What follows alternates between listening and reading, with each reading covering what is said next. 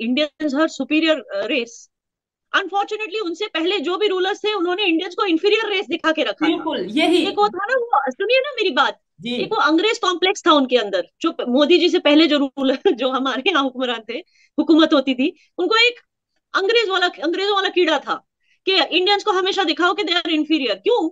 क्योंकि world bank से वो भी बहुत सारा चंदा लेते थे कि भाई इंडियन भूखे नंगे हैं मर रहे हैं तो हमें उनके पेट भरने के लिए पैसा चाहिए। तो वर्ल्ड बैंक से बहुत बड़े बड़े फंड्स उठाया करते थे जिसमें से शायद एक दो परसेंट वो इंडिया के डेवलपमेंट में डालते थे बाकी अपनी तिजोरी में डालते थे। इट इज़ अनफॉर्चुनेट सोहेब मैं एक लाइन बोलना चाहूँगी। India bashing is a big industry in Pakistan और इससे लोगों के घर और चूल्हे जलते हैं। दुनिया के सबसे ज़्यादा एजुकेटेड लोग तो इंडियंस ही है ये तो आपको मानना चाहिए। दुनिया की दुनिया की जो भी आप कंट्री ले लो जो सीईओज हैं जिन जिन कंट्रीज़ में जो बड़े बड़े कंपनीज़ हैं फॉर्चून 500 कंपनीज़ में सबसे ज़्यादा सीईओ इंडिया में है इंडिया के हैं। इवन अब तो सीईओ के भी पार हो गए। अब हम जो है फॉरेन कंट्रीज़ को रूल भी करने लगे हैं जो इंडियन ओरिजिन के लोग हैं वो फॉरेन कंट्रीज़ में प्राइम मिनिस्टर भी बन रहे। सीईओ तो हम पहले बना करते थे अब तो हमने उसको भी रिकॉर्ड को भी तोड़ दिया अब हम प्राइम मिनिस्टर बनने लगे दूसरे कंट्रीज़ के। तो आप सोचिए अगर हमें सुपीरियोरिटी कॉम्प्लेक्स नहीं होगा तो क्या होगा? Obviously we are a superior race मैंने एक वीडियो देखा था रिसेंटली uh, जिसमें uh, आपके कोई मिनिस्टर किसी कॉलेज में स्पीच दे रहे हैं। He was a chief guest वहाँ भी उनके मुँह से गालियाँ निकली while giving like you know very बात करते करते ऐसी गाली निकल गई। आई हैव ऑल्सो सीन जो कश्मीर के इस वक्त जो वज़ीर आला है, वो भी जब मीडिया से बात करते हैं तो बीच में उनके मुँह से गाली निकल जाती। सोचिए, जिस कंट्री ने पूरी दुनिया को कोविड नाइनटीन जैसा वायरस दिया, वो कंट्री क्या ग्रीन डेवलपमेंट के बारे में बात कर सकती है? वो तो लायक ही नहीं है उस ग्रीन डेवलपमेंट की बात करने की। जो कंट्री कम्युनिस्ट है, जहाँ पे डेमोक्रेसी ही नहीं है वो कंट्री क्या वुमेन्स एम्पावरमेंट के बारे में बात करेगी? और रही बात बहुत सारे मुस्लिम मेंबर नेशंस जो हैं वो आ रहे हैं। अच्छा। तो अब चाइना तो अपने मुस्लिम जो मुस्लिम पॉपुलेशन है उसको इज़्ज़त ही नहीं देता है। तो वो क्या मतलब human development sustainable development human empowerment की बात क्या करेगी ऐसी कंट्री वैसे भी आकर करेगी क्या? और दूसरा चाइना पता है कभी बोलते हैं नहीं आप मेरी बात सुनिए कभी बोलते हैं अरुणाचल प्रदेश में हम नहीं जाएँगे जी ट्वेंटी में क्योंकि वो डिस्प्यूटेड टेरिटरी है, कश्मीर में हम नहीं जाएँगे क्योंकि वो डिस्प्यूटेड टेरिटरी तो चाइना जो है डिल्यूजनल साउंड करने लगा है इस तरह की बातें कर करके। साउंडिंग डिल्यूजनल नॉर्मल नहीं लगता कोई कंट्री जब इस तरह से बार बार बोलती है।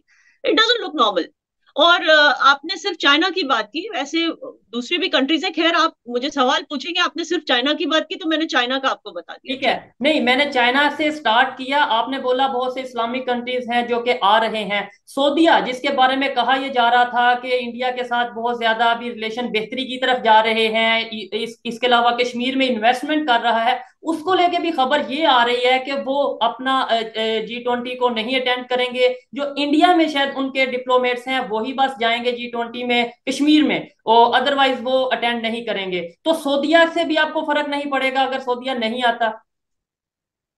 इनफैक्ट सऊदीया को ज़्यादा फ़र्क पड़ेगा अगर उसने इंडिया से ताल्लुक अच्छे नहीं रखे क्योंकि ऐसे बहुत सारे प्रोजेक्ट्स हैं जो सऊदी अरेबिया स्टार्ट कर रहा है और वो चाहता है कि टूरिज़्म वहाँ पर बूम हो और सऊदी अरेबिया को अच्छे से पता है कि Indians will be one of the biggest tourist अगर उन्होंने ये किया one of the biggest travellers on their airlines are Indians you know और उनकी लेबर फोर्स का बहुत बड़ा हिस्सा इंडियन है तो इंडिया के साथ रिलेशन अच्छे नहीं रख के सऊदी को फ़र्क पड़ सकता है इंडिया को फ़र्क नहीं पड़ेगा। और दूसरी बात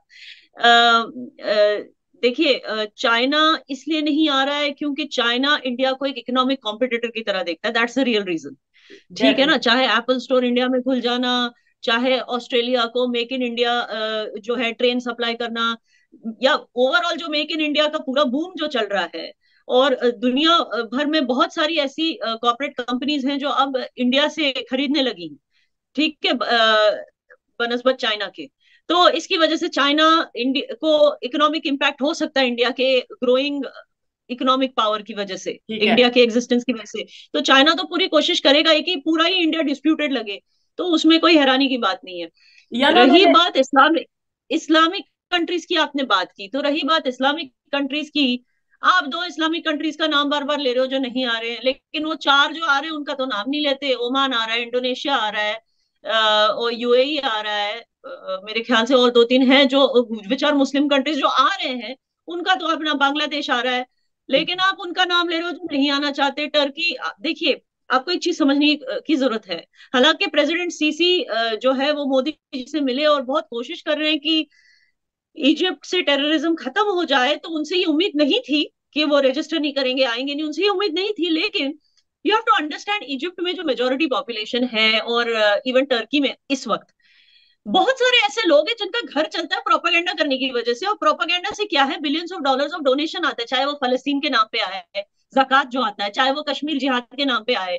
तो अब कश्मीर जिहाद ही नहीं रहेगा तो उनके पॉकेट में धक्का लगेगा भाई। जो billions of dollars of industry है जो चंदा उनको मिलता है जिससे उनका घर चलता है वो कुछ काम तो करते नहीं। आ, आते जो ये लोग हैं जो इजिप्शियन इजिप्ट इजिप्ट तो अड्डा है ना मुस्लिम ब्रदरहुड का। तो आप समझ सकते हो ये सारे लोग अपना पैसा जक़ात पे चलाते हैं अपना घर जो फलस्तीन और कश्मीर जिहाद के नाम पे आते हैं। तो ऑब्वियसली उनको ये तकलीफ़ होगी और जो वहाँ की जो हुक्मरान है वो अपने लोगों को खुश करने में लगे हुए हैं। So I don't I don't I am not surprise कि ये लोग नहीं आ रहे हैं। और सऊदी अरेबिया जो है वो एक वो कहते हैं ना धर्म युद्ध में फंसा हुआ है। हालाँकि वो चाहता है कि चाहे इंडिया हो या इसराइल रिलेशंस अच्छे हो जो अभी जो एमबीएस हैं जो उनके रूलर हैं उनके king he is very broad minded he is very very practical ruler लेकिन कभी कभी वो होता है ना मौलवी मुतवे लोगों के बीच में दब जाते हैं। जैसे आपका पाकिस्तान भी दबा हुआ है अभी तक। तो ये चीज़ें होती है सो वी अंडरस्टैंड दैट जब आप मौलवी मुतवों को इतना पावर देंगे तो आप प्रैक्टिकल डिसीज़न नहीं ले पाएँगे। तो इट्स अ फैक्ट जी। अच्छा या ना मैंने आपकी गुफ्तगु से, आपकी बातों से, और ना सिर्फ़ आपकी बातों से, जितने भी इंडिया से हम जर्नलिस्ट देखते हैं या एक्टिविस्ट देखते हैं इवन आम जो पब्लिक है कॉमन पब्लिक है इंडिया की एक अजीब सा कॉन्फिडेंस इन दिनों हम देख रहे हैं पब्लिक में। आज अगर किसी से बात करें, चाइना के साथ कैसे रिलेशन वो कहता है, चाइना कौन? हमें चाइना से फ़र्क नहीं पड़ता। आपने बोला, चाइना का क्या? सऊदिया का क्या? मतलब ये कॉन्फिडेंस यूथ में कैसे आया? ये विजन का कोई फ़र्क है? पीएम मोदी की भी जो विजन है, उसको लेकर आप लोग चल रहे हैं? या फिर एजुकेशन का फ़र्क है? या फिर आप कह लें कि अपनी खामियों को छुपाने के लिए इतना कॉन्फिडेंट हो रहे हैं? मतलब एक माइंड में बात आ रही है तो आपसे पूछ रहा हूँ। देखिए कॉन्फिडेंट हम लोग इसलिए हैं बिकॉज़ यस जब से मोदी जी पावर में आए हैं स्टार्टिंग में हमें भी लगता था ये क्या प्राइम मिनिस्टर है भाई? ये खाली दुनिया घूमने में इंटरेस्टेड है। लेकिन जो उन्होंने इंडिया का एक औदा जो है हमारी जो इज़्ज़त उन्होंने एक बनाई है पूरी दुनिया में कि Indians are superior race unfortunately उनसे पहले जो भी रूलर्स थे उन्होंने इंडियंस को इंफीरियर रेस दिखा के रखा। बिल्कुल यही। एक वो था ना वो सुनिए ना मेरी बात एक वो अंग्रेज़ कॉम्प्लेक्स था उनके अंदर, जो मोदी जी से पहले जो रूलर जो हमारे यहाँ हुक्मरान थे, हुकूमत होती थी, उनको एक अंग्रेज़ वाला, अंग्रेज़ों वाला कीड़ा था कि इंडियंस को हमेशा दिखाओ कि दे आर इंफीरियर क्यों? क्योंकि वर्ल्ड बैंक से वो भी बहुत सारा चंदा लेते थे कि भाई इंडियन भूखे नंगे हैं, मर रहे हैं तो हमें उनके पेट भरने के लिए पैसा चाहिए। तो वर्ल्ड बैंक से बहुत बड़े बड़े फंड्स उठाया करते थे, जिसमें से शायद एक दो परसेंट वो इंडिया के डेवलपमेंट में डालते थे बाकी अपनी तिजोरी में डालते थे। वरना आपको क्या लगता है ये जो पूरा ऊपर से नीचे जो कन्याकुमारी से कश्मीर तक जो चलकर जो इतनी बड़ी रैली करते हैं ये सब फंडिंग कहाँ से आती है उनको? आप खुद सोचिए ना। तो एनी anyway, पता नहीं कितने हज़ारों स्कैम्स हुए थे साठ सालों में। हर एक चीज़ में स्कैम जब वर्ल्ड बैंक से पैसा आता था टू लाने के लिए इंडिया में उसमें भी स्कैम जब वर्ल्ड बैंक से पैसा आता था कोल को यूज़ करके इंफ्रास्ट्रक्चर डेवलप करने के लिए उसमें भी स्कैम हर एक चीज़ में coal scam two G scam three G scam हर एक स्कैम कॉमनवेल्थ स्कैम मतलब इतने स्कैम होते थे तो आप सोचिए कि वो वो एक जमाना था और आज एक जमाना है जब मोदी जी ने अपनी पूरी एनर्जी और अपनी पूरी गवर्नमेंट को इसी चीज़ में डाल दिया कि पूरी दुनिया में India should look like the fastest not only look like but has proved itself to be one of the fastest developing economies और लोगों की आप देखिए हमारा पर कैपिटा इनकम बढ़ता जा रहा है।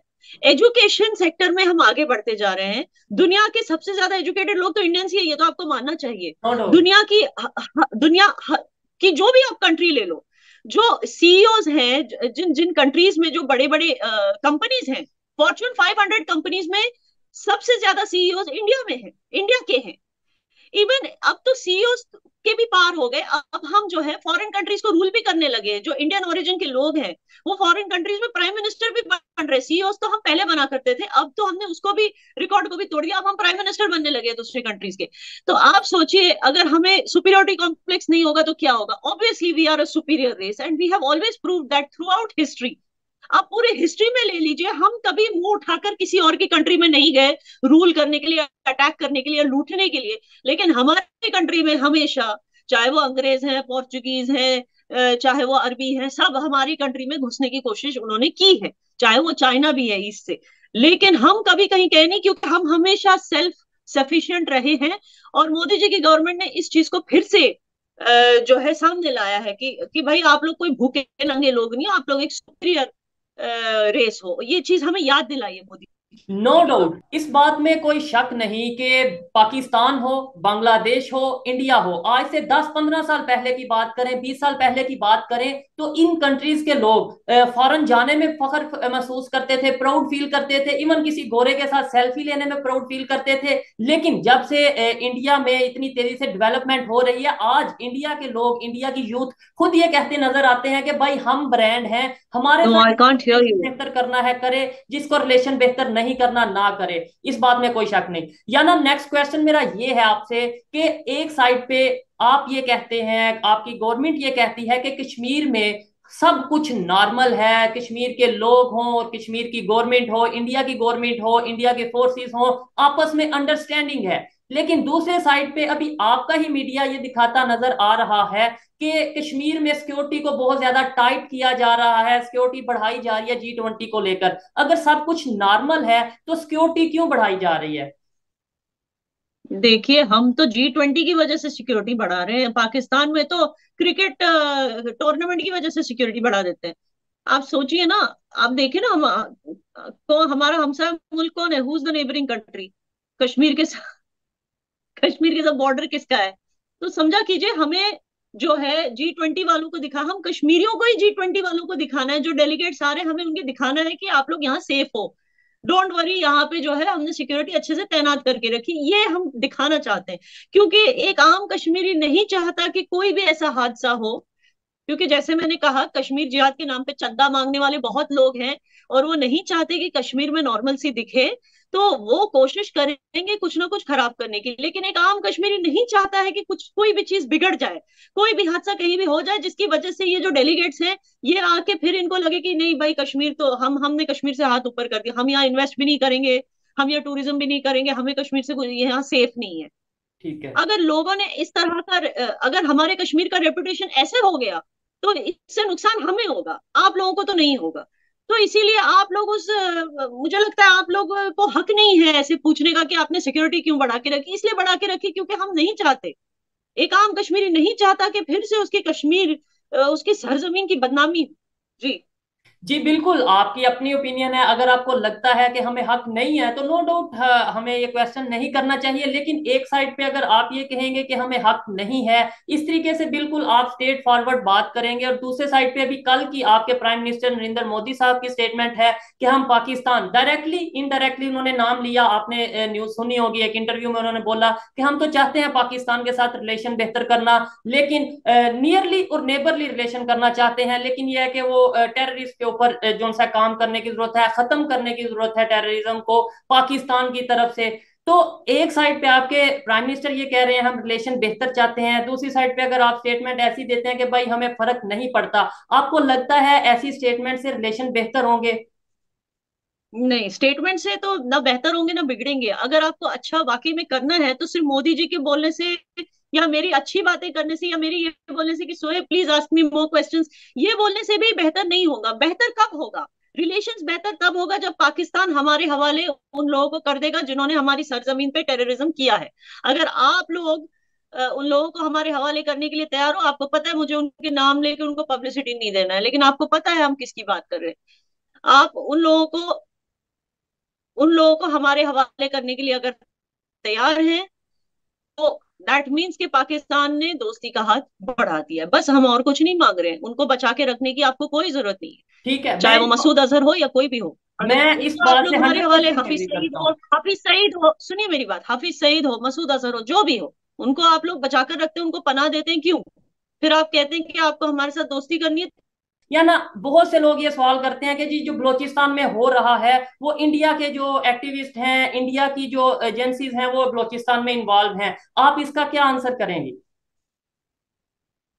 मैं इसका एक ही आंसर करूँगी कि अपने हमसायों को ठीक से जानो।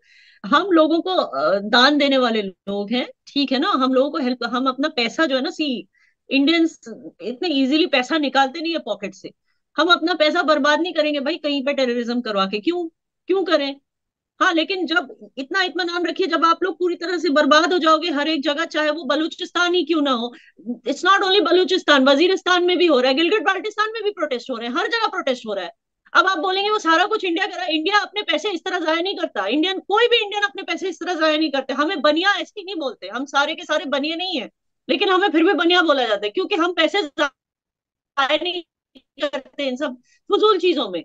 ठीक है ना? कहीं पे टेररिज्म करो कहीं हाँ लेकिन जब टेररिज्म का पहाड़ आप लोग सह नहीं पाओगे और फाइनली चार टुकड़ों में टूट जाओगे you can be rest assured कि हम मदद ज़रूर करेंगे। जी। अल्लाह ना करे ऐसा हो कि पाकिस्तान के ऊपर कोई ऐसा मुश्किल वक्त आए लेकिन जो सिचुएशन बनी हुई है इससे इन फ्यूचर बहुत से खतरात सामने नज़र आ रहे हैं। गिलगित में गिलगित गिलगित बल्तिस्तान में वी आर नॉट पाकिस्तानी के नारे लग रहे हैं। बलोचिस्तान में जो सेपरेट सेपरेशन की मूवमेंट है वो चल रही है। तो इस तरीके से हम जज्बाती बात तो कर सकते हैं लेकिन प्रैक्टिकली जो याना कह रही है मैं मुझे उनसे एग्री करना पड़ेगा। ये बताएँ याना कि देखें ए, सोशल एक्टिविस्ट का बहुत हाथ होता है किसी भी सोसाइटी में चेंज लाने के लिए।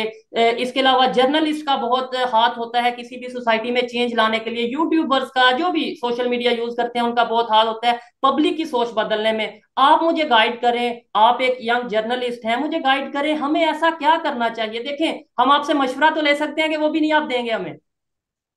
तो मुझे बता देखिए मैं एक बात बताऊँ दिल से दिल से देखिए दिल से हम कोई भी इंडियन ऐसा नहीं है जो चाहता है कि पाकिस्तान चार टुकड़े में टूट जाए या पाकिस्तान बर्बाद हो जाए। कोई इंडियन कोई इंडियन ऐसे नहीं, क्योंकि हम सब कर्मा में यकीन रखते हैं और हम सोचते हैं कि अगर हमने किसी का बुरा चाहा तो वो बुरा हमारे साथ होगा। लेकिन इतने हद तक हमें इतनी बुरी तरह से ट्रोल किया जाता है, खास करके जो हमारे हिंदू भाई बहन है। कभी बोला जाता है कि वो गौमूत्र पीने वाले हैं, कभी बोला जाता है कि वो ये है, वो है। मतलब इतनी बुरी तरह से उनको ट्रोल किया जाता है कि उन वो भी फिर इसी चीज़ में लग जाते हैं कि किस तरह पाकिस्तान का ईगो हम बैश करें। बिल्कुल। ये चीज़ होता है। तो ये एक ईगो गेम चल रहा है। लेकिन जब इंसानियत की बात आती है तो हम में से कोई नहीं चाहता कि जो देश एक देश जो खास करके जो देश हमारा हमसाय मुल्क है वो बर्बाद हो। हम चाहते हैं कि पूरा और बार बार जब आपने खुद कहा कि मोदी जी ने कहा हम पाकिस्तान के साथ अच्छे रिलेशन चाहते हैं। आपने देखा होगा कि जब आपके फॉरेन मिनिस्टर आए थे, उनको अच्छे से इज़्ज़त बख्शी गई थी, जब वो आए थे यहाँ पर गोवा। तो जब हम यही दिखाने की कोशिश कर रहे हैं कि हमें कोई प्रॉब्लम नहीं, लेकिन आप लोग सुधर जाओ, आप लोग सुधर जाओ बार बार एक ही चीज़ बची है कि मुझे नहीं समझ आता कि आपके सोशल मीडिया इन्फ्लुएंसर्स चाहे वो शाहिद अफरीदी हो या फलाने फलाने जो भी सेलिब्रिटीज हो आपकी यहाँ की, क्यों वो एंटी इंडिया बोलते हैं? जिस दिन वो एंटी इंडिया बोलना बंद कर दे या फिर जिस दिन आपकी आवाम उनको चुप कराना शुरू कर दे कि think of good relation with neighbour उनको बैश करके अपना ईगो बढ़ाने की अप, अपने आप को ना एक ईगो बूस्ट देने की ज़रूरत नहीं है क्योंकि ये आप फेल हो चुके हो इस चीज़ में। जिस दिन पब्लिक उनको आप जैसे लोग उठ के ऐसे सेलिब्रिटीज को ओपनली बैश करने लगे कि कुछ और बात करे कोई प्रैक्टिकल बात करे जिससे आवाम का फ़ायदा हो तो तो तब जो है ये चीज़ें बंद होंगी। जी ये मतलब जो रिलेशन